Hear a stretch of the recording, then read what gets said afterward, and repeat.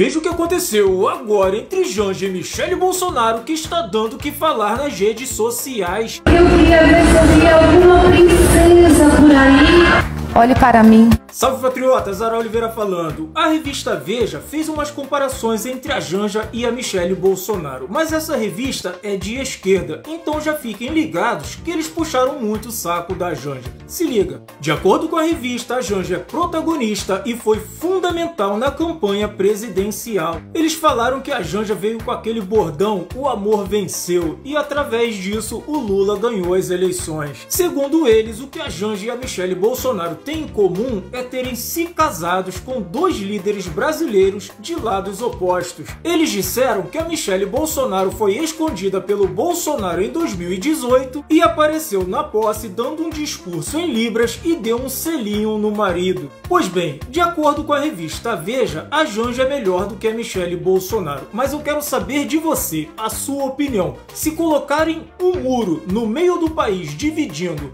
um lado é Michele Bolsonaro, o outro lado é a Janja. Para onde você vai? Eu quero saber de você, Janja ou Michele Bolsonaro? Deixa nos comentários.